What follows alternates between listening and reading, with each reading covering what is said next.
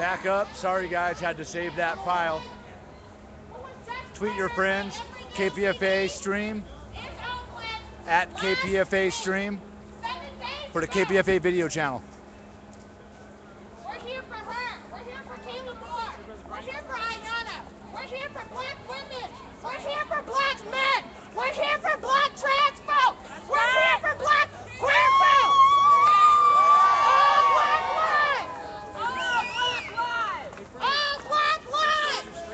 did. Well, I saw that.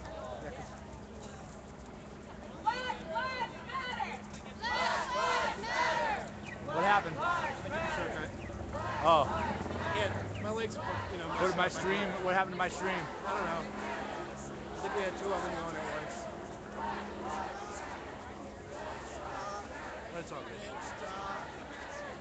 here with Frank Sterling and not myself, Rayman Sullivan, out here by Berkeley City Hall. I'm gonna hang by the front of the uh, City Hall here.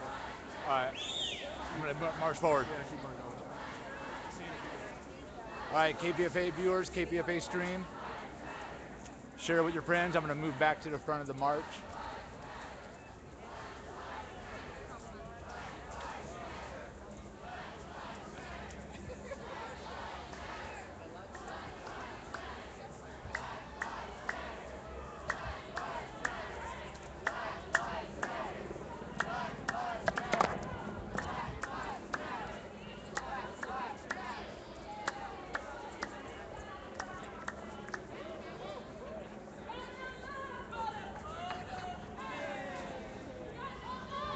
running ahead.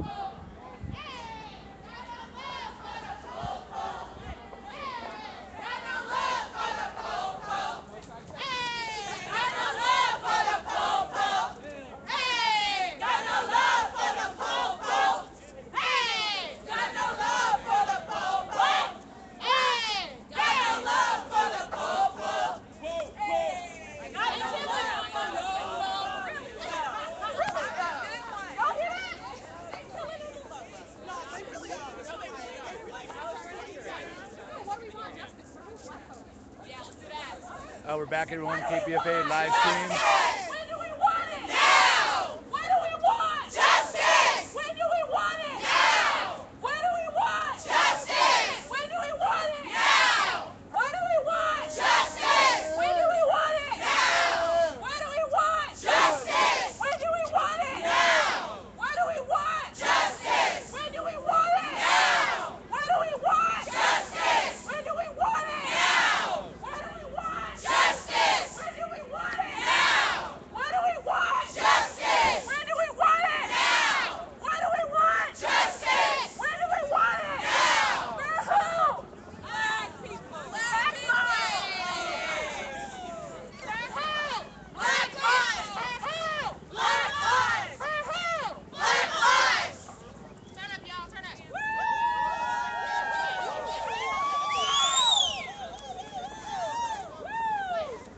KPFA Stream channel, at KPFA Stream. Share with your friends.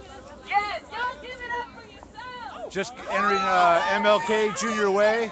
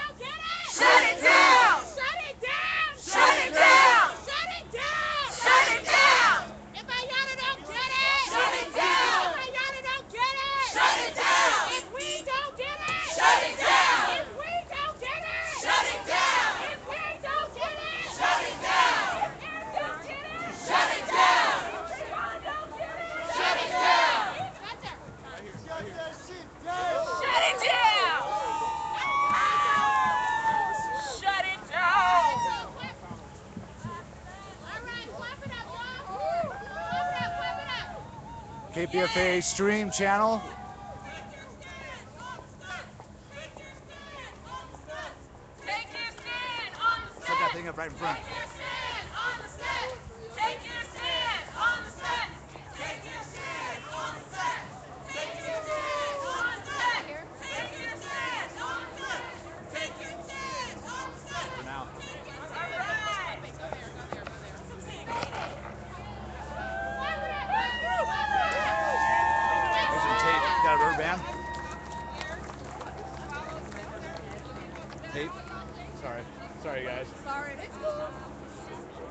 I want to be right up front when you guys.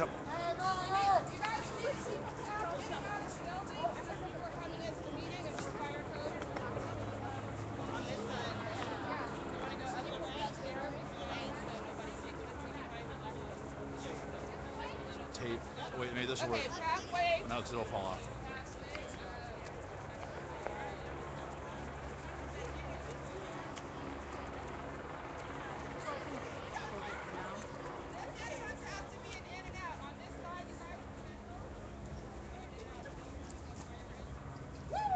This is a pathway in and out, you guys, so we're not gonna block this side. Our rally's over there. This is the pathway in and out of the building. Anyone who can get inside the building, come this way. Inside the building, come this way. Rally, stay over here. And our two, what's that? Wait.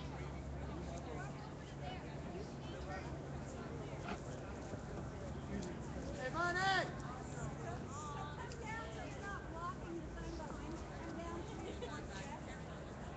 All right, people.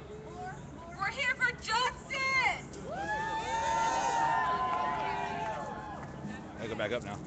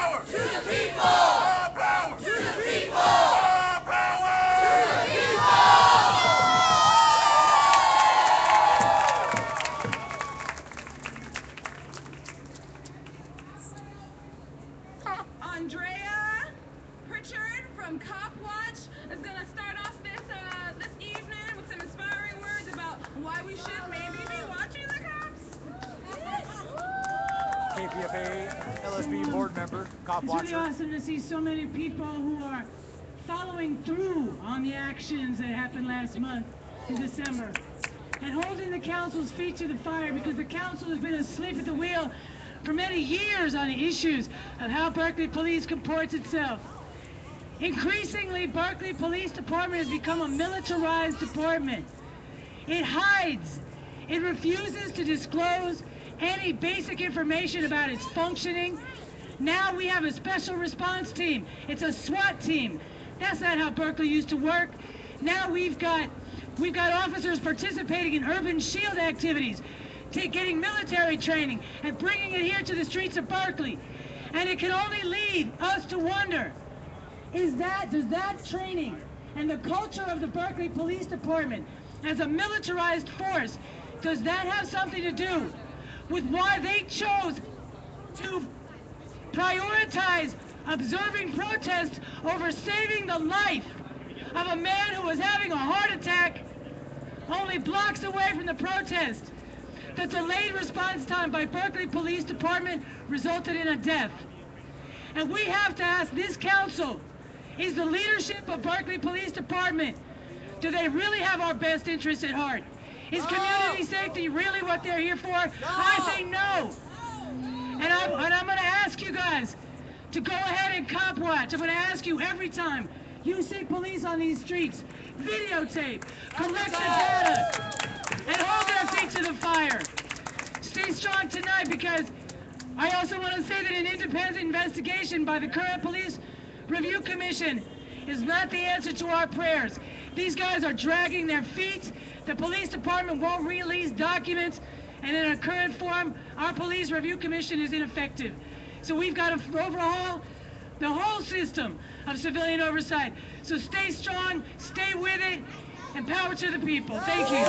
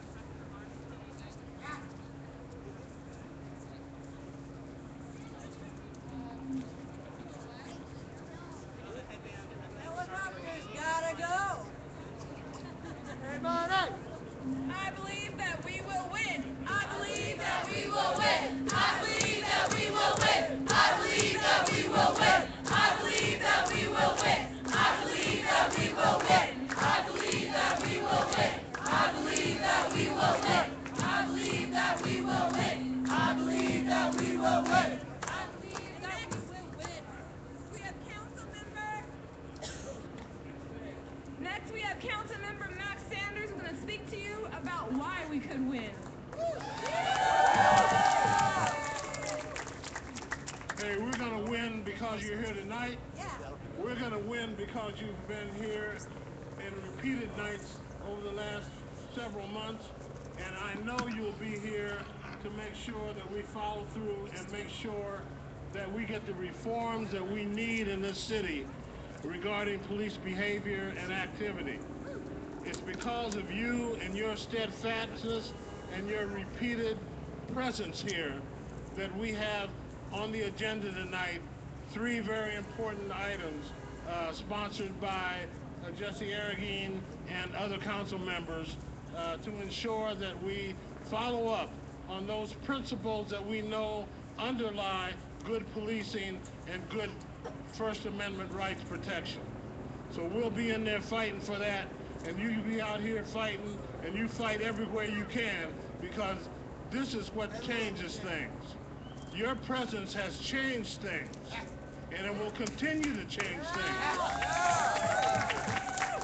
And those of us who stand with you will continue to stand with you and ensure that we follow through and get some of these things done. We need police that are charged by crimes with special prosecutors in charge, not the good old boy network with the DA.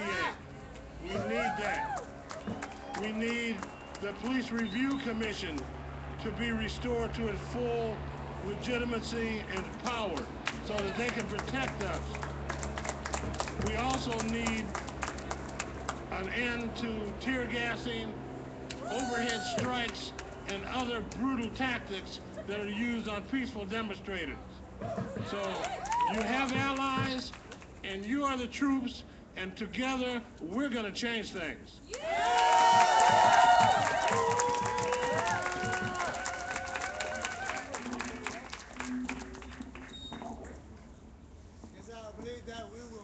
Ain't no power like the power of the people, cause the power of the people don't stop. Say what? Ain't no power like the power of the people, cause the power of the people don't stop. Ain't no power like the power of the people, cause the power of the people don't stop. Ain't no power like the power of the people, cause the power of the people don't stop. If anyone needs to get in the building or out of the building, this is the path. Tom's helping me. Tom, you're down there. I'm flashing a walkway. So if photographers and news folks can kind of keep here, otherwise folks will be stuck. We don't want that. We. Yeah, I got you. All right, so people, next up on our lineup, we have a civil rights lawyer who will tell us how we can win. I'd like to introduce John Burris to the stage. Thank you, thank you, thank you. It is um, terrific to be here amongst all of you, having been practicing law and, uh, for a number of years and, and essentially doing police misconduct work where I've sued well over 500 police officers during my time and, and many African Americans, Black Lives Matter. Black lives have been the focal point of racial profiling, illegal arrests, beatings, and of course, uh, shooting deaths that have been unconscionable and, and certainly unjustified. So whenever we can have gatherings and people can consider those issues, it's extraordinarily important. Having been involved in the Riders case for over 10 years in Oakland, I know that you can do it. The only thing that I regret about the Riders case in terms of our ability to do the reforms, that we did not include you and the community people in it early enough. Because if we had, some of the reforms that we put together could have been better, it could have been enforced a lot sooner, and it might have had less resistance on the part of the police. So you are at a time now where you can participate. And it's a very important that there, you have cop watch here, you have city council. One thing I would say to you is that give some thought to what you really want to occur and keep happening. Because I think it's important. Obviously, you want to ensure that, that there are video cameras present. Not only that present, that they are being used. I've been involved in at least 10 cases, since, shooting cases since Ferguson. Five or six of those cases were supposed to have had cameras on. None of them did. So what use is there if you have a camera and you don't turn it on? So part of what you have to insist upon, one, that there are cameras, and number two, that they have to be turned on, and if they're not turned on, there's a price to pay. Because that is very, very important uh, in doing so. The, the accountability question, you have to hold officers accountable.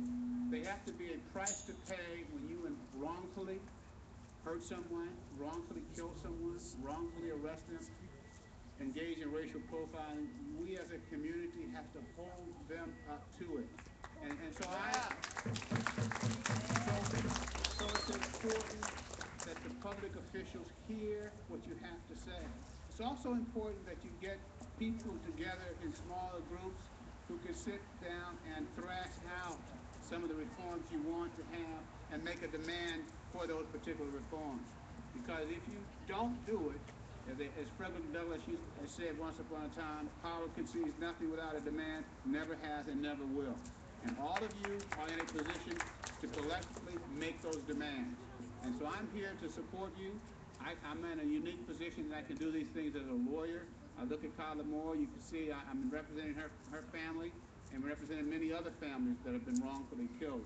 And, so I can be helpful in that sense. But the real power comes from you. Your ability to put pressure on public officials and pressure on various committees that exist and make yourself heard. So I stand in, um, in solidarity with you. Black Lives Matter, and they matter more than one can imagine. Thank you.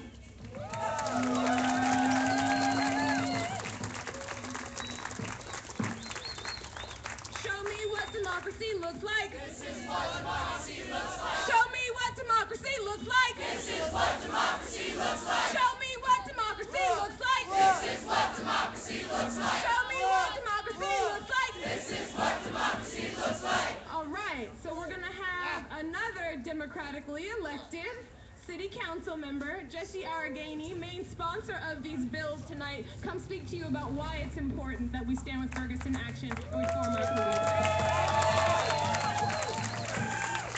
police. This is what democracy looks like. When the people of Berkeley come out and take the streets and demand that our elected representatives take action.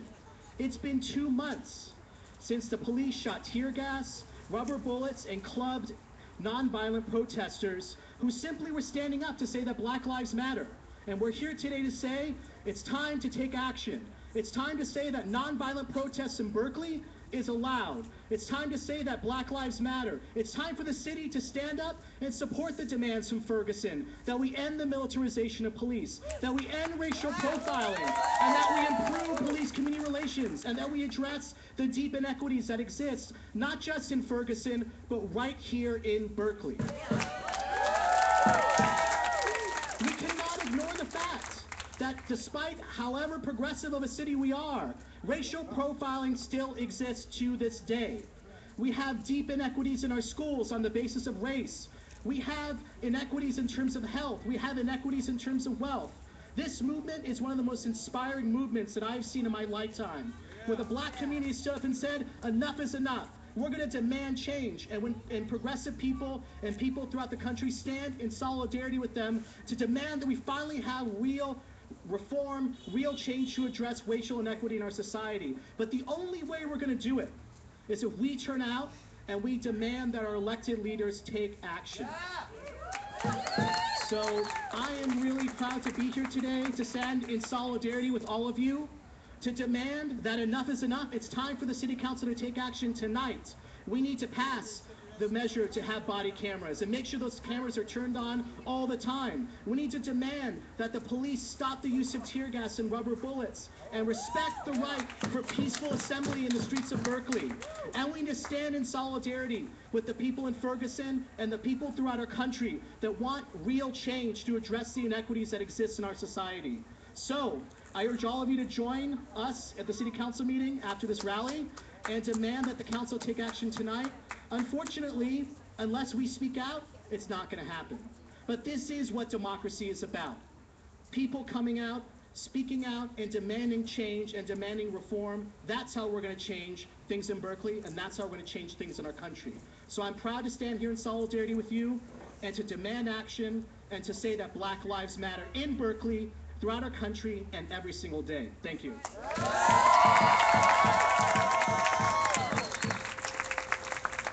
No justice, no peace, no racist police. No justice, no peace, no racist police. No justice, no peace, no racist police. No justice, no peace, no racist police.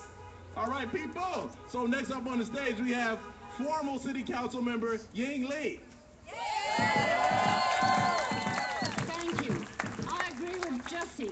Our constant presence in the street will be what brings any changes that we need to, to bear fruit. It's, it, it's been incredibly impressive since Ferguson that the activity has gone on on almost a daily basis. We are not forgetting, we are definitely moving on. You know, it embarrasses me to say that of course Black Lives Matter. This is something that we should take for granted. And when I see the troops, I mean, are we a military, are we under military government? To, to, to see those tanks and those guns and our own police, they are our civil servants.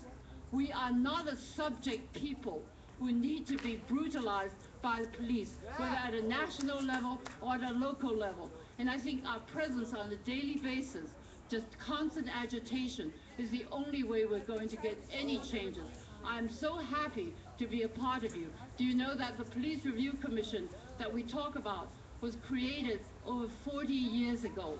Not by the council, but by the initiative process. Because the people who were demonstrating against the Vietnam War were constantly not only did they have to fight against national policy, we had to fight our local police.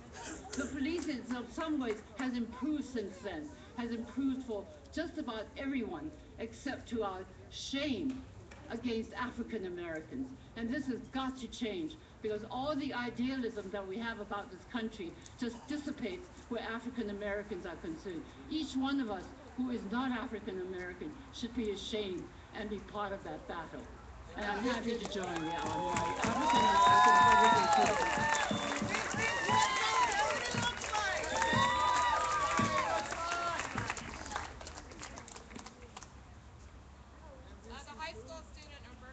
Um, let's take a moment to join in song. We're going to have Nanci Armstrong Temple lead us in song.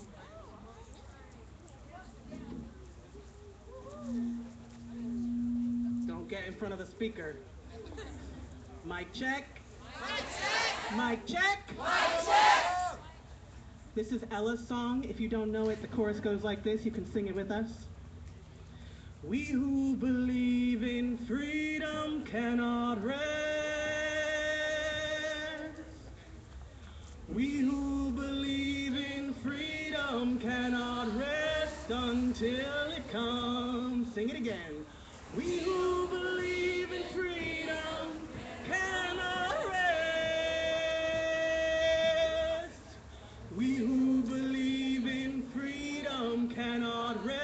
until it comes.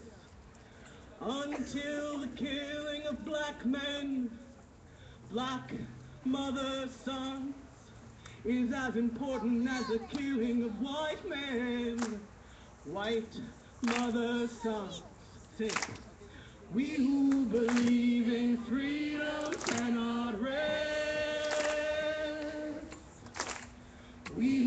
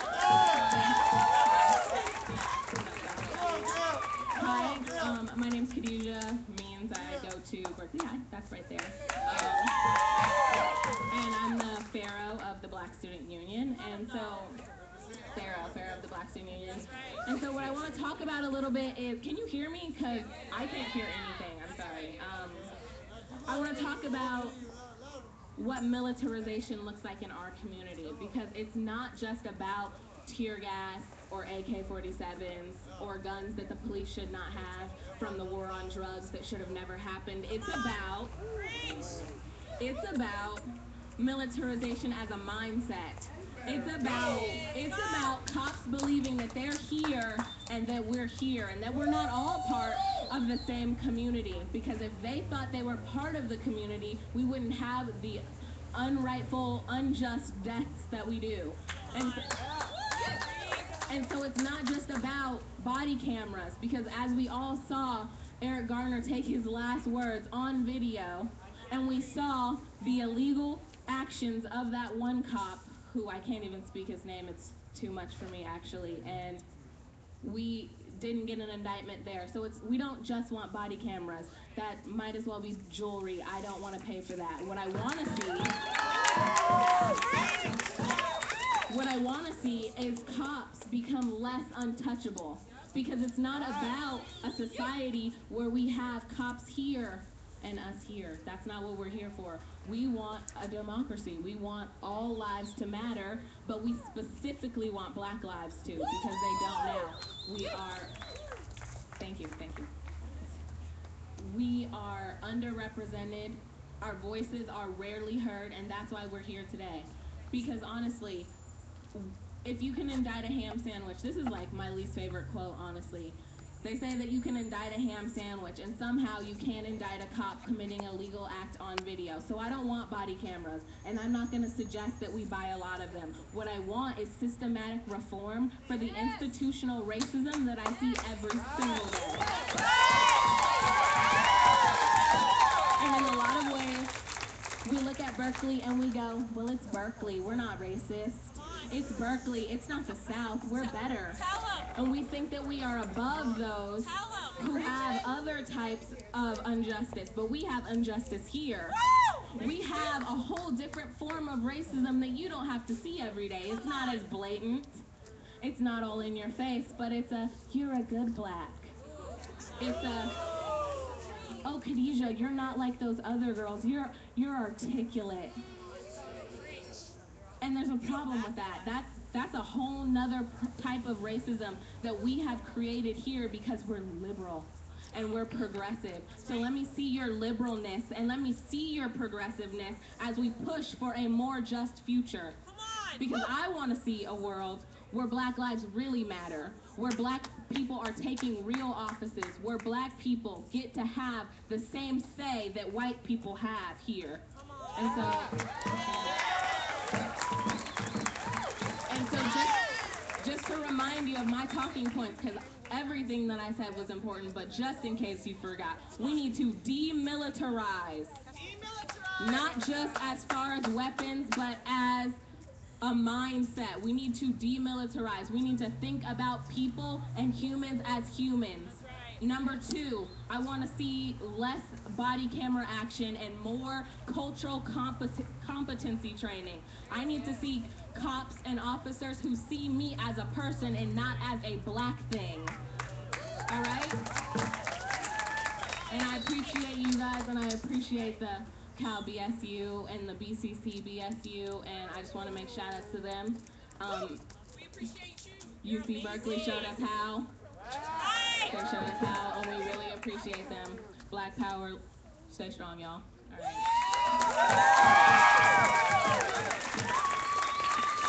Doesn't that bring me so much hope? So much hope. So turn up, don't turn down. We do this for Mike Brown. Turn up, don't turn down. We do this for Mike Brown. Turn up, don't turn down. We do this for Mike Brown. And Oscar Grant and Alan Blueford and Trayvon Martin and so many countless others. This is not the fate that young black males should suffer. We are not dispensable. Our lives matter. Let's give the mic again. Sorry, this time for real. To Berkeley City College Representative AJ.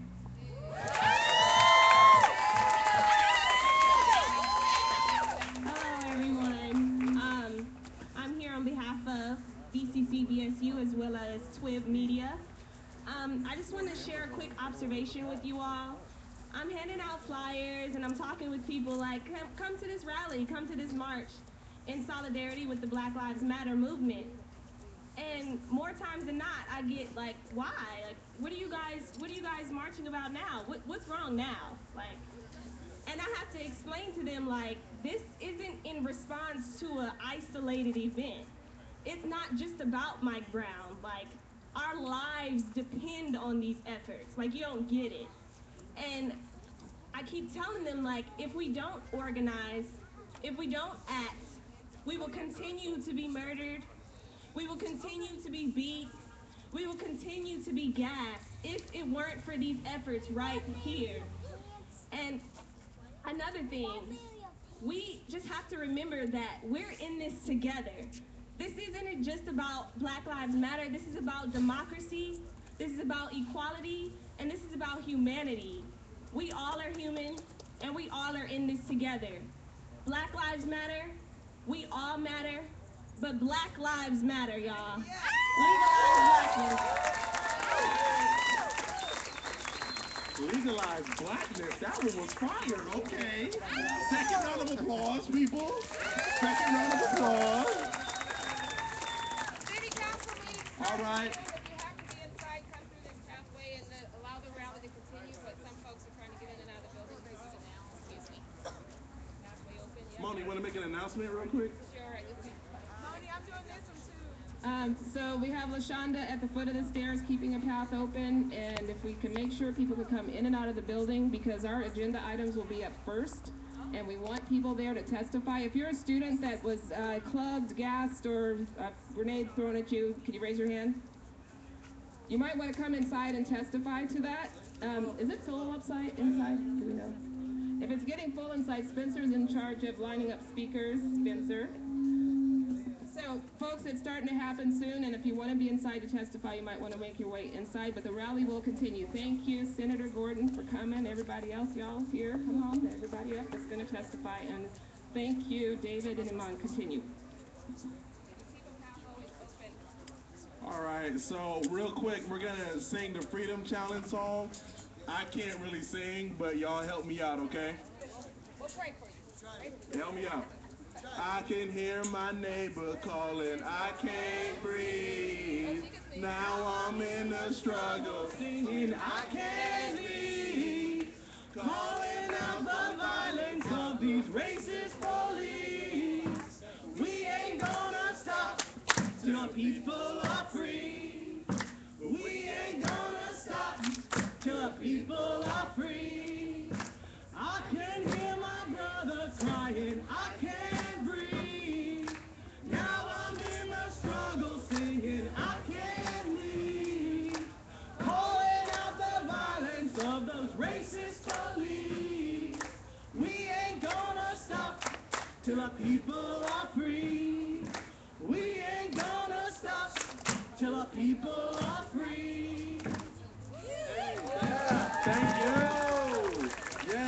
Saved me because y'all know I can't sing. All right. So next on the mic, we have someone who helped to reclaim a particular weekend. If you are tired of seeing our leaders get co-opted, raise your hand. Because I know I am. People try to make King like King seem like he was docile, like he wasn't going to change anything, like he actually liked America, like America actually liked him. So, what who we're going to bring up right now is someone representing the Anti-Police Terror Project, the, the people who organized 92 hours of direct action in the Bay Area. Please give it up for Frank Sosa.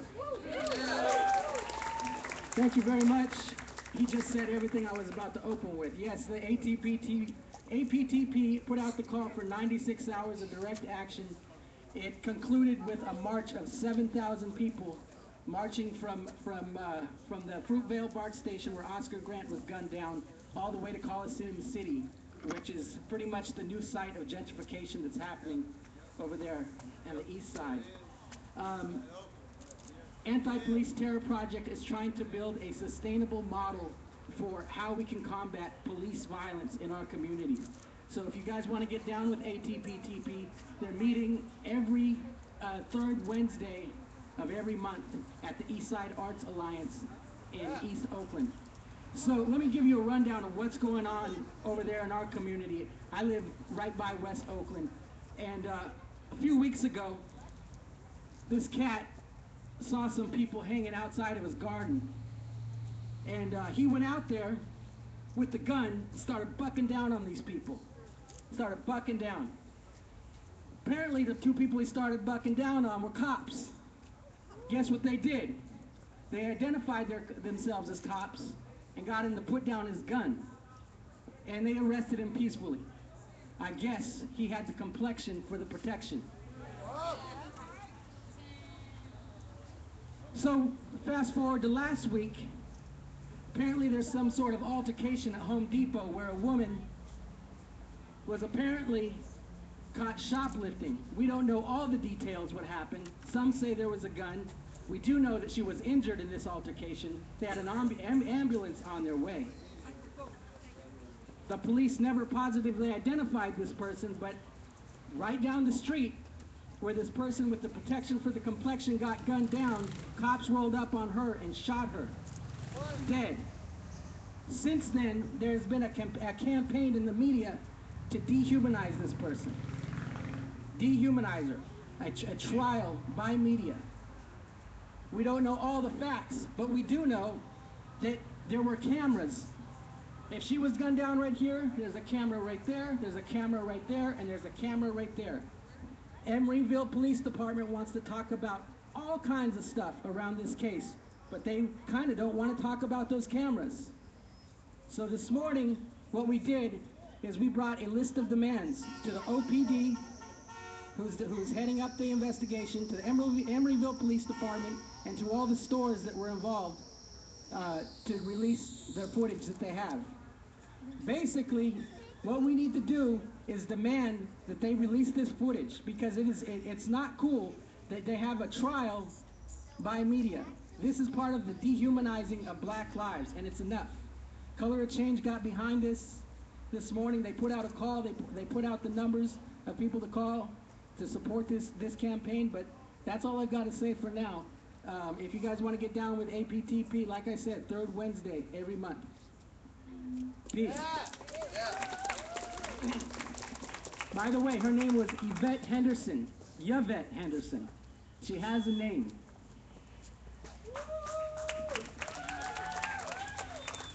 When I say all power, you say to the people, all power! To the people! All power! People! All power! To the people! Say it with your chest, y'all. All power! To the people! All power! To the people! All right, y'all. So next, we are going to bring up someone who will stir your soul. I'm telling you, y'all, there is something very interesting about the way spirituality plays in social movements. Next, I want I would like to introduce Pastor Michael McBride.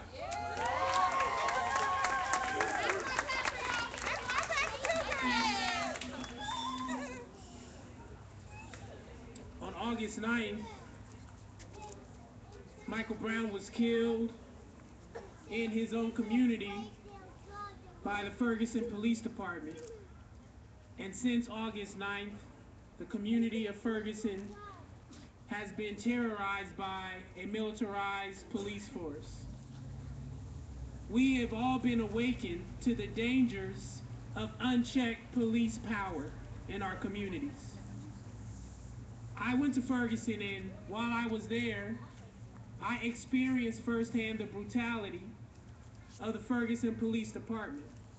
I was arrested, I was tear gassed, was hit with batons, pushed in the back with assault rifles, called the N-word, all kinds of dehumanizing behavior. When I came back to the Bay Area,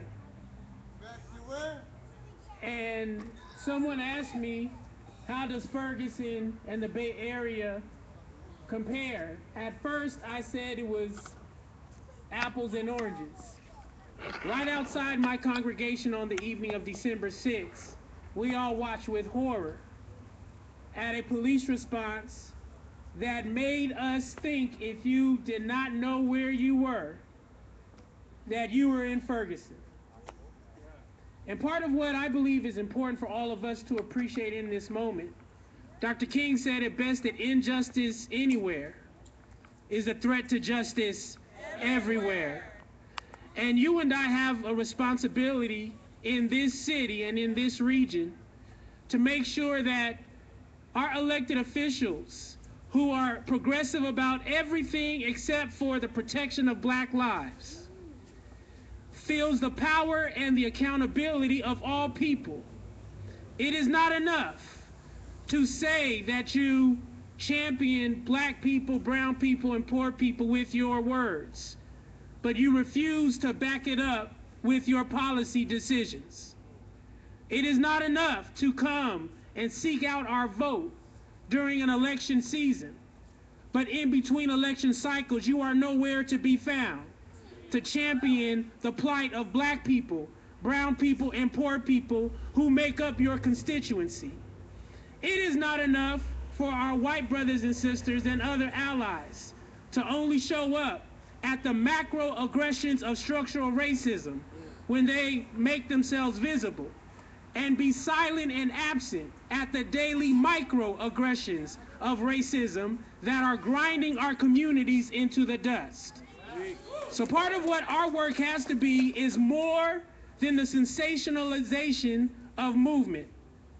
It must mean that every day you wake up and your feet are blessed to hit the floor, you must answer the question, which side are you on? On the freedom side. Are you on the side of freedom or are you on the side of the status quo? Now, I want to certainly say, as I stand here as a pastor in this city, that for too long our clergy have often been sitting on the sidelines or on the wrong side. But I stand here representing dozens of clergy, pastors, and congregations here in this city Covenant Worship Center, Berkeley Mount Zion, McGee Avenue Baptist Church, Church Without Walls, uh, St. Paul AME Church. The list goes on and on and on. Good Shepherd. On and on and on. Clergy and congregations are standing in solidarity of black lives because we know if black lives really matter, then everyone's life will matter. So I want us to really be very clear that we are in an age of revolution.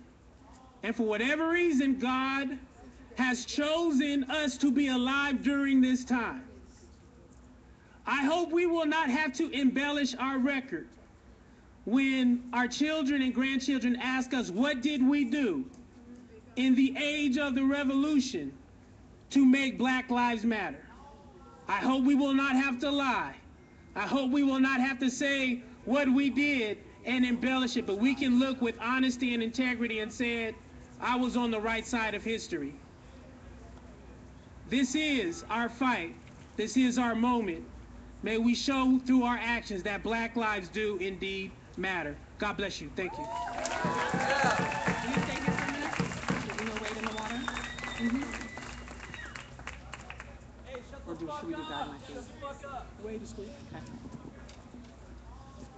I'm looking for the water of justice.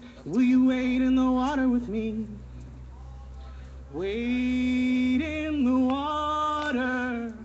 Wade in the water, children. Wade in the water.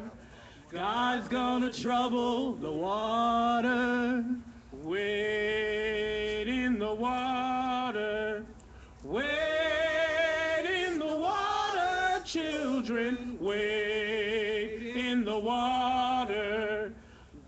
Gonna trouble the water. Wade in the water. Wade in the water, children. Wade in the water. God's gonna trouble the water. We're troubling the water right now. Thank you to the pastor for showing up. Also, um, our other interfaith members, the Buddhist monks and the rabbis who showed up. Thank you for showing your support and being in solidarity with this movement. And also, give it up for y'all. Everybody who showed up in November, in December, in January for protests, for marches, got beaten, got tear gassed, got arrested. Over 700 people arrested in one night. And you know what? Of all those people, only 14 I know of were charged. The 14 people who stopped the BART on Black Friday. Black Friday 14. So we got a member. We got a mem. Drop the charges. Oh yeah. Oh yeah. We got uh, Devonte Jackson, one of the Black Fri- Friday 14, here to talk about it. Thank you, thank you. So I'm gonna start by reading a quote from Dr. King. It's a long one, so bear with me. Um, There's nothing wrong with the traffic law which says you have to stop for a red light. But when the fire is raging, the fire truck goes right through that red light, and normal traffic had better get out of its way. Or when a man is bleeding to death, the ambulance goes through those red lights at top speed. Disinherited people all over the world are bleeding to death from deep social and economic wounds. They need brigades of ambulance drivers who will have to ignore the red lights of the present system until the emergency is solved. Massive civil disobedience is a strategy for social change, which, which is at least as for, forceful as an ambulance with its sirens on full. So, I just wanted to start that off because what I like to say is that the Black Friday 14 acted as a black ambulance. We were the black firefighters. And, and what, what we were saying is that we're taking action right now to end the war on black people. And what we were saying the war on black people looked like, we expanded the scope from the criminal justice system. We shut down West Oakland BART station to address gentrification. I'm three generations of Oakland. My great grandmother had a house um, in West Oakland on Filbert. A white family now owns that house, right? And so this is what we're talking about when we're taking action against the state-sanctioned war on black people. Today we're talking about police militarization. We're talking about police accountability. We're talking about an aggressive response by Berkeley police to protesters who are responding, who are taking justice action for black lives. So today we got to ask what does police accountability look like? We got to talk about what does justice for black people look like? And, and for me, that justice looks like a reduction of the police power and presence in our communities. Like, like Sister said from Berkeley High School, it's not about getting more police cameras. We seen Eric Garner killed on tape, right? And then he wasn't indicted. Similarly, in Berkeley, Kayla Moore was suffocated to death. Uh, transgender black woman with schizophrenia. And Berkeley police were not held accountable for that murder. The district attorney of Alameda County, Nancy O'Malley, has a history of not prosecuting murderers of black people. This is true not only for Kayla Moore, but Alan Blueford, Raheim Brown, Derrick Jones. So what what does it take to really change the circumstance? Because I'm mad. I'm here because I'm angry because black people have no value in this country, right? We live in a country that allows people to murder us with no, with impunity. So today I'm saying that we have to take radical action. This is not just about reform, right? This is about transformation of systems that continually oppress us. This is a historical mat. This is a historical matter too. This is not an isolated in incident.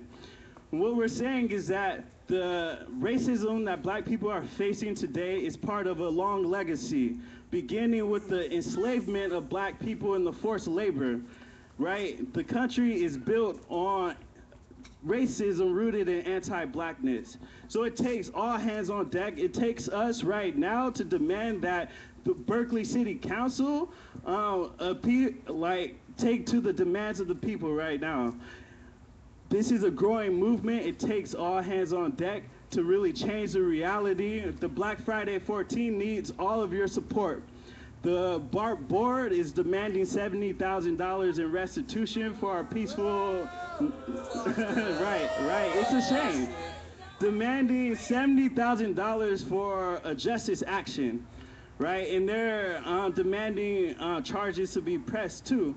So what it takes is for the community to really up the pressure on Nancy O'Malley, hold her accountable not only to uh, bringing justice to the Black Friday 14, but to all the victims of police murders in our community in Alameda County. Thank you all for being out here today. Continue the pressure, and Black Lives Matter. Yeah. Thank you, Devontae. All right, people. One of the things that cannot, that just personify the contradictions within the United States is that we live in a police state, yet we live in a democracy, right?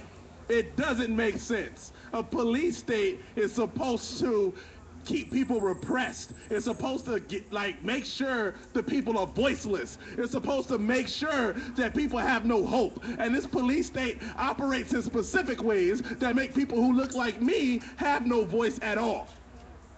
This is what we are up against, people. We are trying to transform the police state in the United States. That is what we are doing here today. We are taking a step in the direction toward freedom.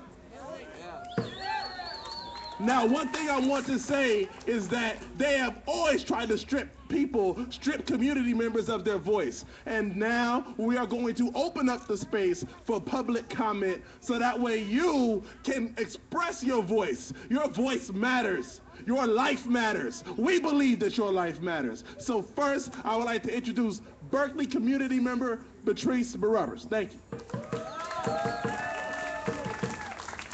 I'm 86 years old. I stayed here with open heart surgery. I stood here because I have seen the, the, the hate of what some of these police have done to my people for all of my 86 years. We have been a target. Three little pickaninnies sitting in the shell, one got kicked out and one got killed. See, they, what they did to you, they're making money off you. My youth, they're making money off you. Right there at Berkeley High School. My son's picture, and it was totally integrated. You see this, this shirt I got on? This is from the Berkeley Fire Department. I sold this shirt in London. I sold it in Frankfurt, Germany. I sold it in Houston, Texas. We work together.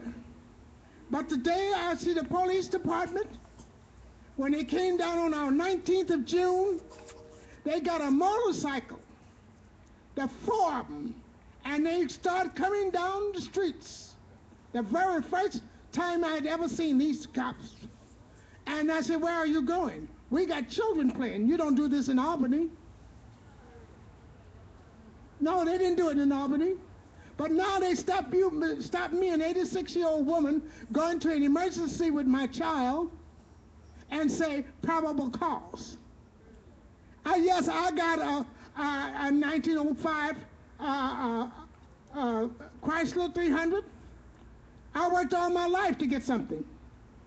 But never in my life have I had a wreck, two, two or three wrecks a year. And then when I, I ride down the streets, I ride down the streets where I know that they're taking pictures because it's not safe. I tried to come to the council and talk to them. My ID was stolen. Do you think one of them come to me? Do you think I sit right here at the police station? Not a per- cop came down to see what I was going to have. They told me they was going to take my house by any means necessary. What am I supposed to do? What am I supposed to do? An 86-year-old woman. So this is discrimination. Children, I'm backing you. But one of the things I'm going to ask of you, do it peacefully. Okay? Do it peacefully. We don't have to destroy what we have to go back and go. We don't have the transportation, many of us, to go to the other stores. And the very first food that you see at the dollar store, that all came from the army. So I'm going to tell it like it is. You see, because once they leave a place, they leave the food. So they buy enough food. So, so this is a military state. A black man is not allowed in the Emancipation Proclamation to own a, a federal gun license to buy a gun. So who's selling us the guns? Sorry, KPFA followers. Okay. Um, this is people in Franklin here. I got to sign off and get back to KPFA. And you see, Um, keep watch on Twitter you were a slave at. KPFA Stream you were born for future events. And be So sure to tune in March 4th, all 5th, and human. 6th. We're all God's children. And listen to Flashpoints on And I'm gonna put KPFA for information and demonstrations from Creech Air Force Base, Nevada.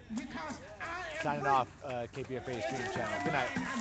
What is?